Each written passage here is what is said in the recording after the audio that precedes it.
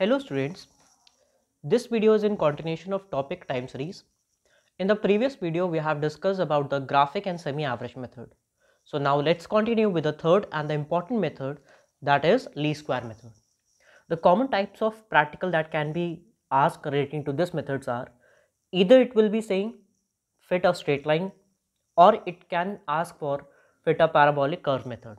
So for instance, in this video, we will be studying the concept of fitting a straight line trend for a particular time series. तो अगर आपको एक straight line fit करना होता है तो straight line की common equation हमारी क्या होती है?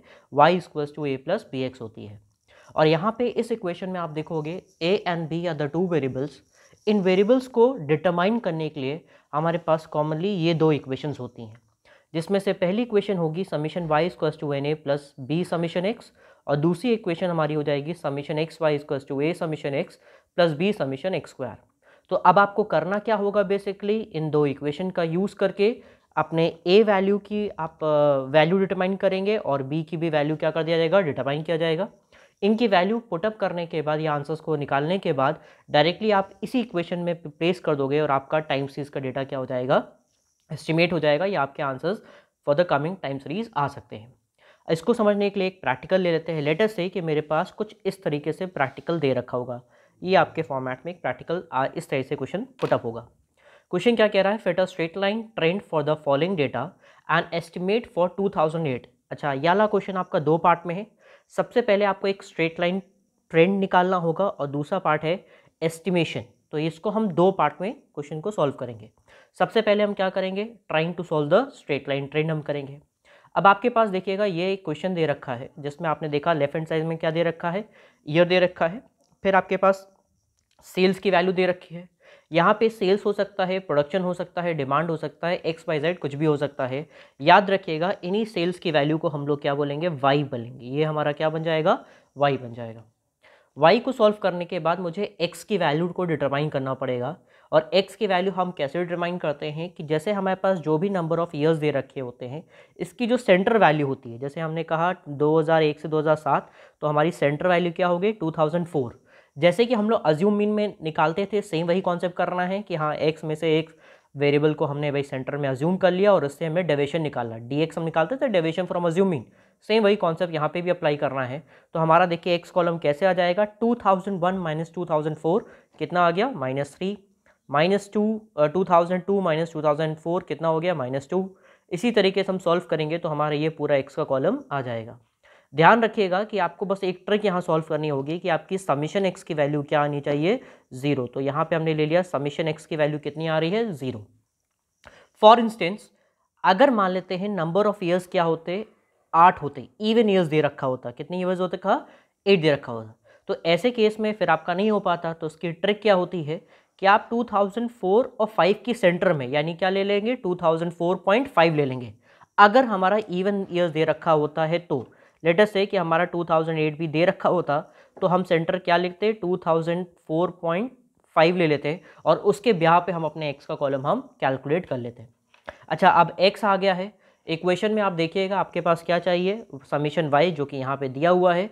समीशन एक्स वो आपने निकाल लिया है।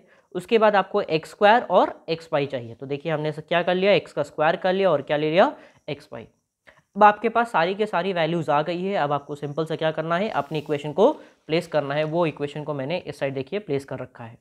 तो आपने देखा होगा, यहाँ पे वैल्यू क्या हो गई? Summation Y equals to N A plus B summation X solve करने के लिए समीशन वाई की वैल्यू कितनी थी? सिक्स थर्टी वो हमने प्लेस किया। नंबर ऑब्जर्वेशन सेवन ए था।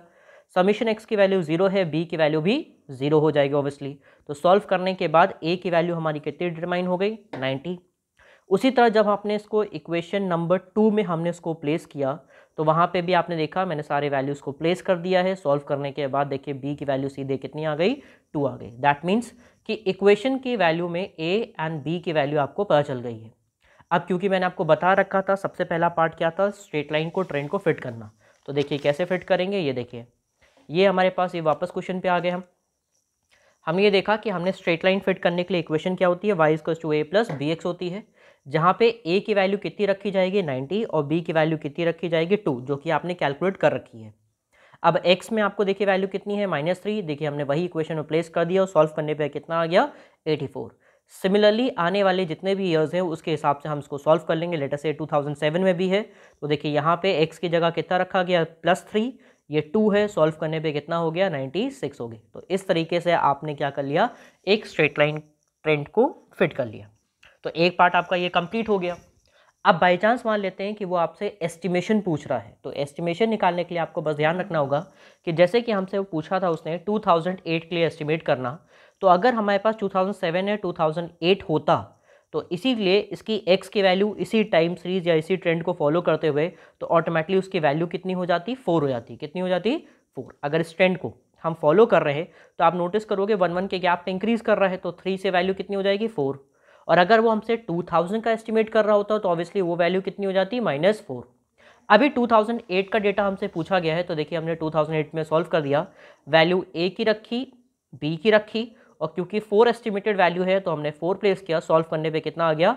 98 that means the estimation for 2008 sales is 98 rupees और यूनिट्स इज़ दैट क्लियर तो इस तरीके से आपका एक टॉपिक पूरा कंप्लीट हो गया that is called as fitting a straight line hope this topic is clear to all of the students thank you